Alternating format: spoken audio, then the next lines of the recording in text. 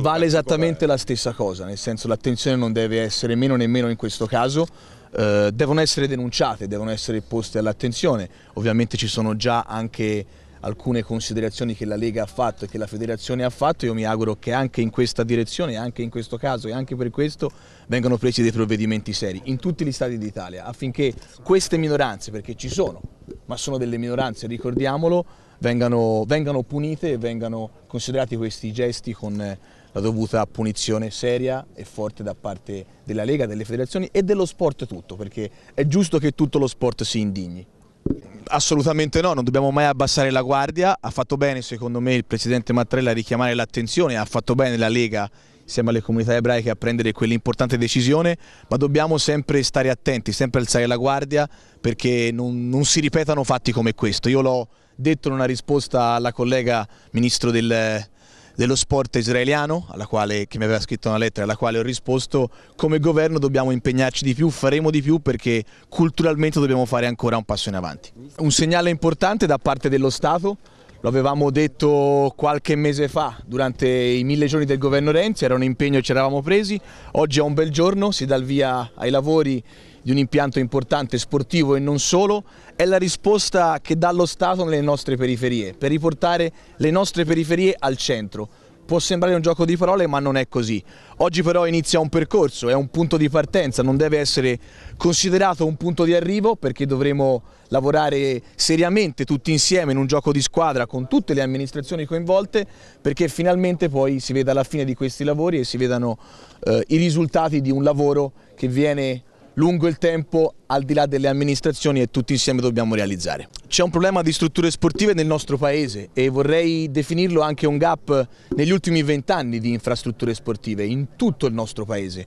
Noi abbiamo provato a dare delle risposte concrete tramite il bando Sport e Periferie lo scorso anno, riconfermando il fondo Sport e Periferie per il prossimo anno con ulteriori 100 milioni di euro di investimenti e rendendo stabile in finanziaria questo fondo per i prossimi anni a venire. È una risposta concreta che il pubblico dà a queste esigenze e a questo problema. Abbiamo parimenti messo un'altra risposta importante, lo sport bonus, dando detrazioni fiscali fino a 20.000 euro per i privati che hanno voglia di intervenire. Preoccupa ma non a causa delle proteste dei lavoratori, a causa dei debiti. È una delle mille situazioni di, di groviglio amministrativo e di inefficienza che ci si stanno scaricando addosso non c'è una situazione ordinata, una. Credo che faremo su Bagnoli una operazione verità, credo che siamo a questo punto a 15 milioni di euro di debiti. E c'è ancora la tendenza a immaginare che le cose stiano in piedi per ragioni magiche. I bilanci sono i bilanci e le strutture devono fare i conti con i bilanci e questo vale anche per Città della Scienza. Ma è, è, possibile anche concludere un ragionamento serio anche con la Lombardia che ha una posizione diversa dal, dal Veneto.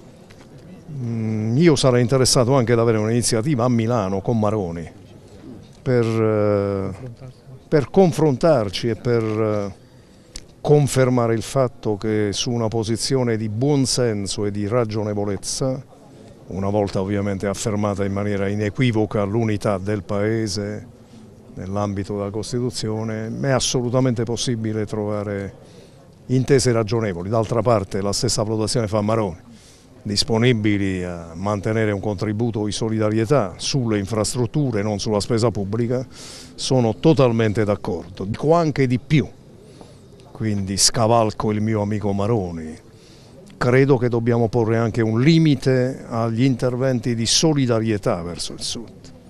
Non possiamo immaginare che in eterno ci sia questa logica. Noi dobbiamo darci dieci anni di tempo e in dieci anni di tempo dobbiamo fare quello che ha fatto la Germania orientale per recuperare i ritardi. Se no, buonanotte, ognuno si pianga il suo destino ma insomma è, è, arrivato il momento di avere rigore e serietà. Poi dovremo insieme combattere contro posizioni di centralismo che in qualche caso sono intollerabili e ci fanno perdere solo tempo. Ma per approvare una legge ci vuole una maggioranza parlamentare e in questo Parlamento i principali responsabili sono i rappresentanti delle 5 Stelle che per quattro anni hanno detto che non parlavano con nessuno se non con i loro consiglieri spirituali, che stanno a Milano uno e a Genova l'altro. Pace all'anima sua, noi eh, siamo molto solidali, però il problema è questo, se hai esponenti parlamentari che programmaticamente decidono di non parlare con nessuno, è evidente che poi ci si regola con le maggioranze possibili. Quindi mi sono chiari tutti i limiti di questa legge, ma è evidente che una qualche legge bisognava darla a questo Paese. Diciamo, eh, la fanno gli esponenti politici. Una discussione aperta sul risultato della legge. Ora dire che sia una legge entusiasmante mi pare troppo. Il problema dell'Italia è sempre quello. Sappiamo tutti quanti che sarebbe utile per garantire la governabilità del Paese. Io sono per un maggioritario secco, senza sbavature e problemi.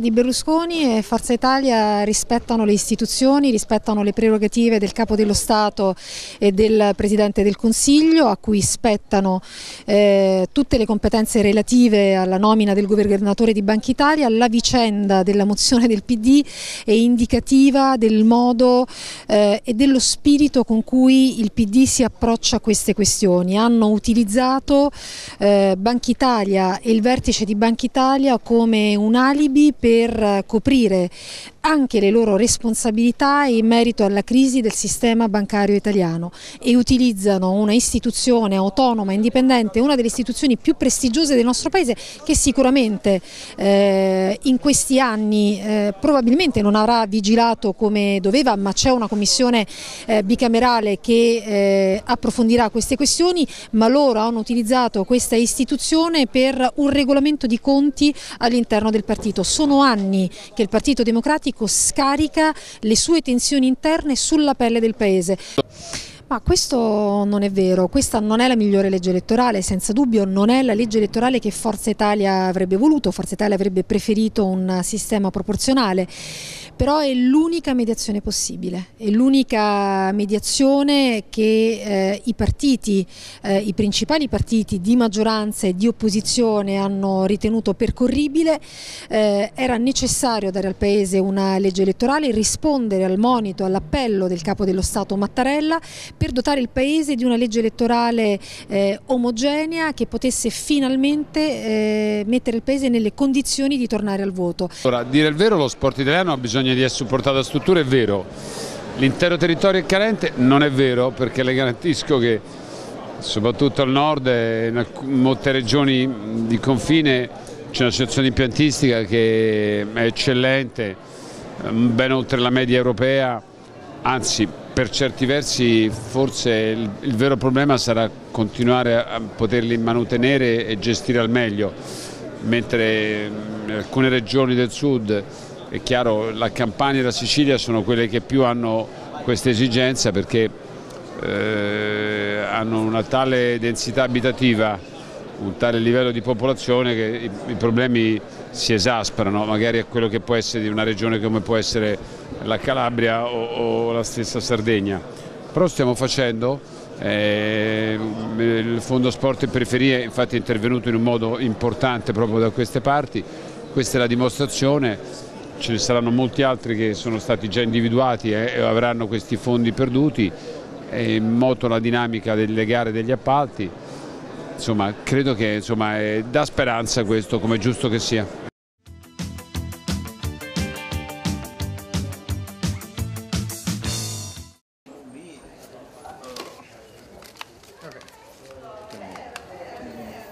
Abbiamo fatto questa iniziativa di colletta noi la chiamiamo in azienda, ma in realtà in questa istituzione che è la Regione Piemonte, eh, con un doppio scopo. Uno, prima di tutto, è quello di ricordare anche in un ambiente di lavoro eh, per un momento le persone che sono in difficoltà. Due, anche far sì che ci sia un incremento del prodotto che noi possiamo raccogliere.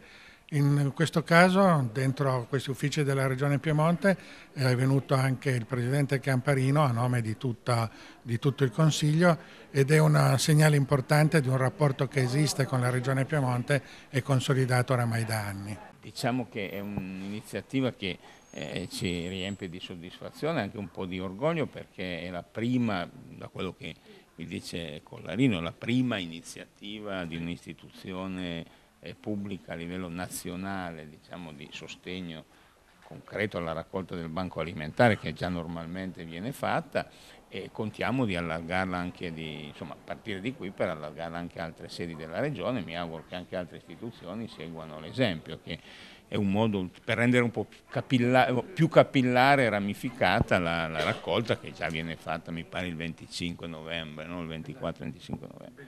Io sono la promotrice insieme a un altro, mio collega Roberto Parolisi mh, sul lancio di questa iniziativa per eh, fare in modo che sensibilizzare comunque le persone a questa giornata del banco alimentare. Il banco alimentare sappiamo che negli anni è, stata, è un, un, punto di riferimento per, per, questa regione, per tutte le regioni, assolutamente un punto di riferimento per tutte le associazioni e per tutta la gente che, che ha bisogno.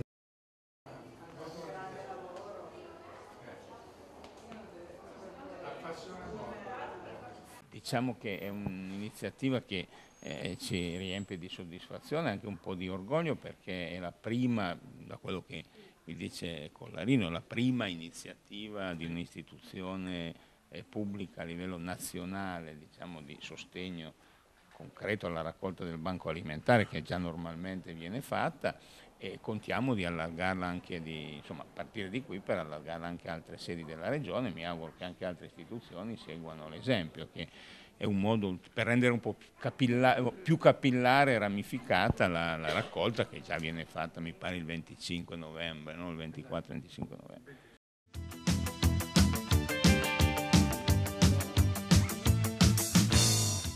Eh, con l'interrogazione del collega Valente del Movimento 5 Stelle sottopone alla mia attenzione il tema della trasparenza e dell'eguaglianza nella ripartizione da parte del CONI del contributi alle federazioni sportive. Come Ministro dello Sport la questione posta mi sta ovviamente a cuore e sono felice di poter eh, scambiare due opinioni con voi e rispondere nel merito. Mi preme tuttavia far presente all'onorevole Valente che il quesito mi pare un attimo viziato da un errore di fondo, che è quello di non prendere in considerazione l'attuale natura del CONI, che è oggi un ente pubblico associativo in regime di autoamministrazione. L'onorevole Valente infatti sa benissimo che il CONI è una confederazione di associazioni private, che sono federazioni e le discipline associate sportive.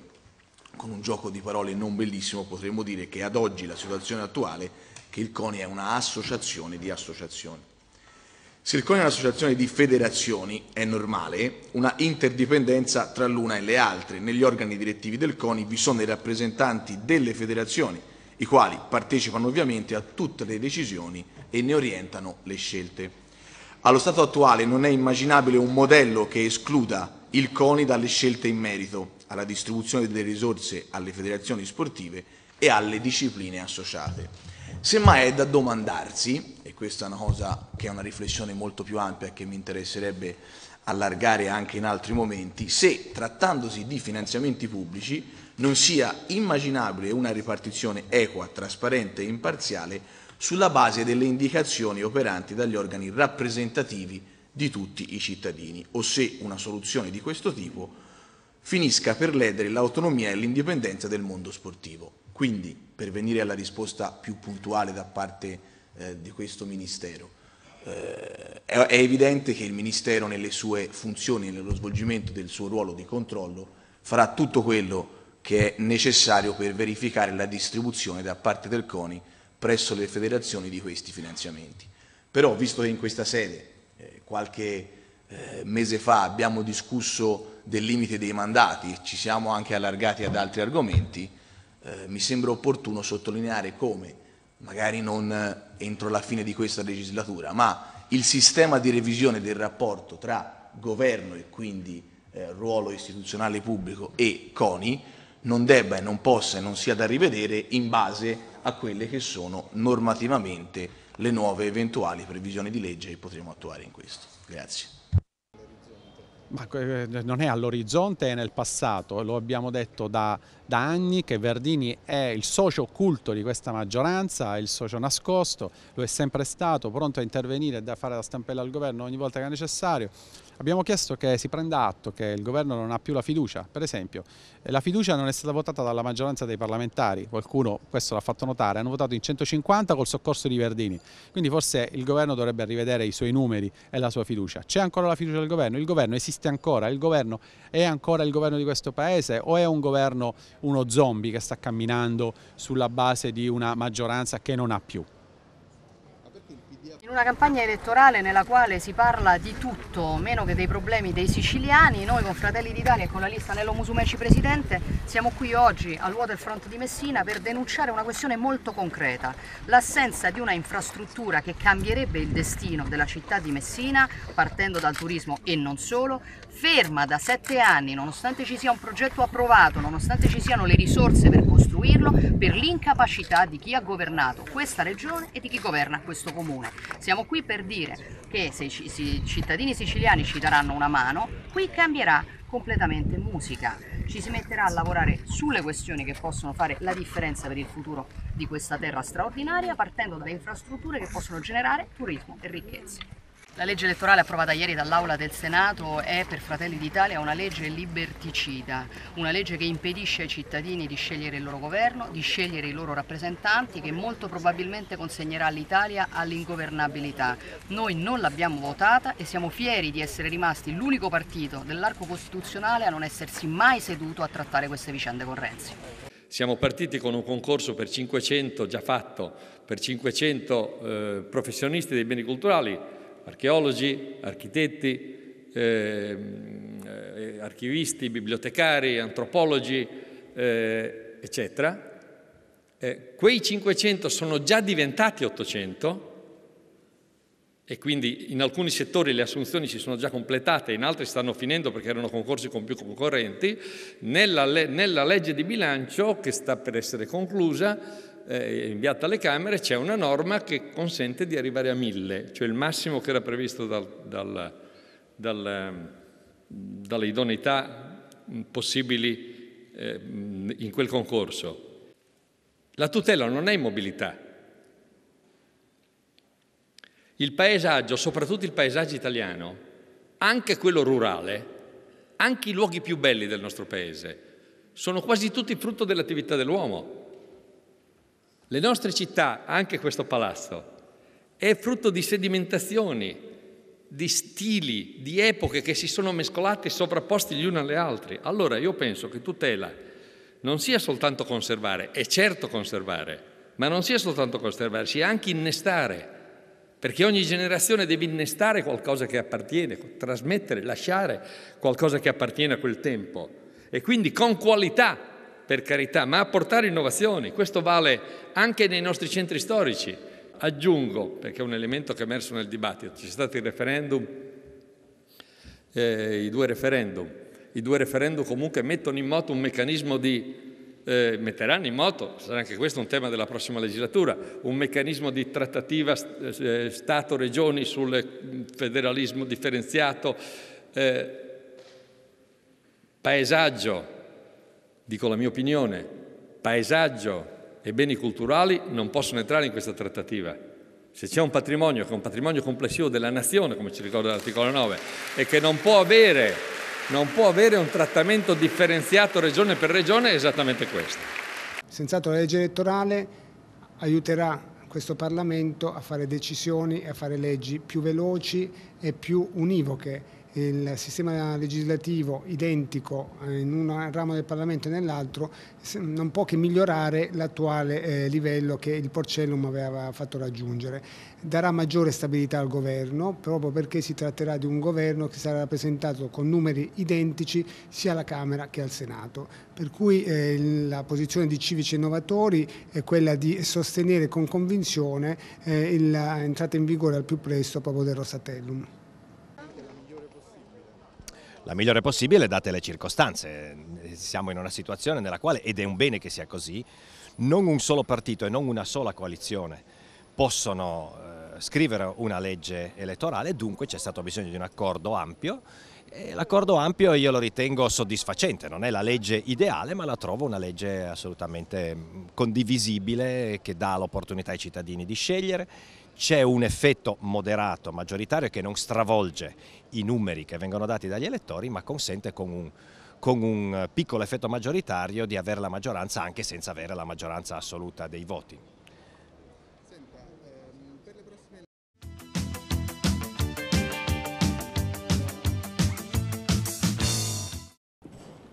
Buongiorno Presidente, mi chiamo Fabio Sinani della scuola di Roncofreddo.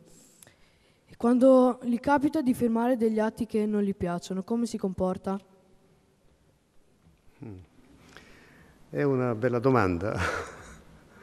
Quando mi arriva qualche provvedimento, o una legge del Parlamento, o un decreto del governo, io anche se non lo condivido appieno, ho il dovere di firmarlo anche se la penso diversamente. Devo accantonare le mie convinzioni personali perché devo rispettare quello che dice la Costituzione, che la scelta delle leggi spetta al Parlamento e la scelta dei decreti che guidano l'amministrazione dello Stato spetta al Governo. E se non firmassi andrei contro la Costituzione. C'è un caso in cui posso, anzi devo non firmare. Quando arrivano leggi o atti amministrativi che contrastano palesemente in maniera chiara con la Costituzione. Ma in tutti gli altri casi non contano le mie idee, perché non è a me che la Costituzione affida quel compito di fare le regole con le leggi o di guidare la macchina dello Stato, ma le affida ad altri, al Parlamento e al Governo. E io ho l'obbligo di firmare perché guai se ognuno pensasse che le proprie idee personali prevalgano sulle regole dettate dalla Costituzione la Repubblica non funzionerebbe più.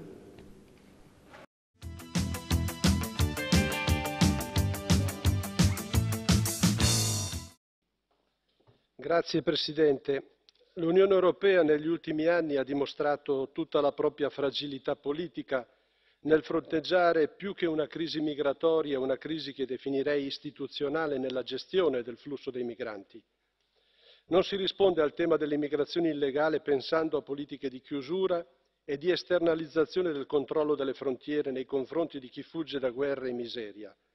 Il Consiglio nel recente summit ha dichiarato di essere pronto a vigilare su tutte le rotte migratorie, ma si continua a sottovalutare il fatto che le nuove rotte verso l'Europa potrebbero rivelarsi più pericolose delle precedenti e soprattutto si continua a non vedere che nel frattempo a farne le spese di una politica non all'altezza sono decine di migliaia di migranti vittime di stupri, detenzioni illegali e abusi di ogni sorta. Ora appare evidente, a differenza di ciò che immagina nella sua complessa attività onirica l'onorevole Salvini, la necessità di un cambiamento di approccio che affronti le sfide strutturali che sono la radice di questo processo, quali il sottosviluppo, la crescita demografica, le disuguaglianze, l'assenza di opportunità, i cambiamenti climatici, e governare tale processo attraverso il rafforzamento della legislazione comune in materia di asilo e immigrazione. Solo un approccio coordinato, basato sui principi di solidarietà, condivisione equa delle responsabilità e forti investimenti finanziari, potrà fornire risultati tangibili in questa sfida decisiva per la stessa Europa. Sì, ringrazio il collega che ha citato la eh, procedura sugli squilibri macroeconomici e volevo chiedergli appunto se non crede che sia arrivato il momento di procedere con eh, anche delle sanzioni verso questi paesi, visto che sono proprio i paesi più rigoristi che chiedono molto spesso ai paesi periferici eh, di rispettare le regole, però sono loro a non rispettarle e, oppure ricevono continuamente delle raccomandazioni molto blande. Eh, se non è il caso di chiederle al commissario, visto che qua eh, dovrebbe risponderci.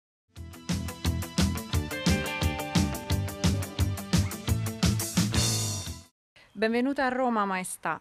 Siamo felici di accoglierla nel cuore della nostra città, nel cuore della capitale d'Italia, dove sono custodite le testimonianze storiche, culturali ed archeologiche che hanno reso Roma tanto ammirata e amata nel mondo.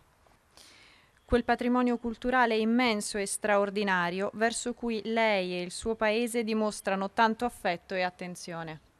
Saluto inoltre l'ambasciatore di Danimarca in Italia, Sua Eccellenza Erik Wilstrup Lorentzen, la direttrice dell'Accademia di Danimarca, professoressa Marianne Pade, il direttore della Fondazione Carlsberg, professor Flemming Bessenbacher.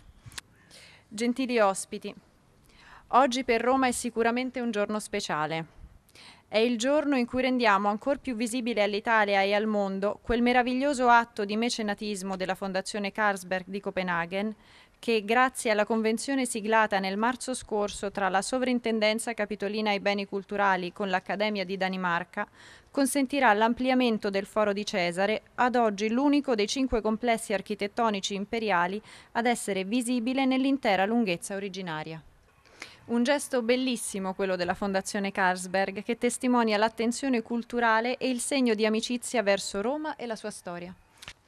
Colgo dunque l'occasione per manifestare a nome mio personale e di tutta la città di Roma un sincero ringraziamento alla Fondazione Carlsberg per la sua generosità e per la sensibilità culturale che, si, che sta dimostrando verso il nostro patrimonio storico e culturale, per quelle testimonianze archeologiche che Roma ha ereditato dal suo grande passato. Vitalizzare la collaborazione virtuosa fa- fra pubblico e privato è per noi importante, perché riteniamo sia necessario individuare tutti i mezzi utili alla valorizzazione del patrimonio di Roma. In questo senso, dunque, il mecenatismo è prezioso. Ci aiuta a ridare vita ai capolavori che custodiamo da millenni, ci aiuta a scoprire, come sarà nel caso del Foro di Cesare, nuovi ed importanti dati storico-scientifici che daranno nuovi contributi alla conoscenza dell'intera area archeologica dei fori. Tutto questo all'interno di quel percorso di risistemazione dell'area promosso dalla Sovrintendenza Capitolina ai Beni Culturali e dalla allora Soprintendenza Speciale per il Colosseo e l'area archeologica centrale di Roma. È importante fare tutto questo perché Roma, la nostra città, non è solo la capitale d'Italia, ma è patrimonio dell'umanità. E El... questo non lo dobbiamo mai dimenticare. Noi sentiamo profondamente il valore racchiuso in ogni angolo di Roma. Sentiamo la responsabilità di accogliere milioni di turisti all'anno che arrivano da ogni parte del mondo per ammirare luoghi come i Fori Imperiali o il Colosseo, luoghi unici al mondo. Ed è per questo che ci adopereremo fino in fondo per rendere Roma e la sua cultura sempre più visibile e accessibile a tutti. In questo senso, un altro importante passo sarà proprio la conoscenza più ampia del Foro di Cesare. Per questo ringrazio ancora una volta Sua Maestà la Regina di Danimarca, Margrethe II e la Fondazione Carlsberg di Copenaghen per l'amicizia e la generosità che dimostrano verso Roma. Un grande ringraziamento anche all'Accademia di Danimarca che condividerà con la Sovrintendenza Capitolina la realizzazione di questo progetto. Grazie infine a tutti coloro che si sono adoperati per la realizzazione di questo ulteriore sodalizio tra Roma e la Danimarca, che rende il nostro rapporto ancora più intenso e proficuo. Allora, la quantificazione, fatto, fatto un conto della serva, essendo il 2,9%, facciamo il 3% per fare una cifra tonda sul monte salari, che è circa 40 miliardi, parliamo di un miliardo 2, un miliardo e 3 al massimo. Eh, va da sé che senza questa cifra nel fondo non si può fare tutto qui. Quindi noi siamo pronti, la palla al Parlamento. Bene, oggi il Comitato ha visto eh, gli ultimi affinamenti degli atti di indirizzo che riguardano la dirigenza sanità e quindi anche su questo punto si può chiudere, si può procedere. Ecco, dal punto di vista formale quindi tutto a posto, si potrebbe fare il contratto nuovo in sanità. Diciamo si potrebbe perché è evidente che eh, se il governo e il Parlamento non fanno la postazione di risorse nel fondo, purtroppo si rinvierà tutto l'anno 21.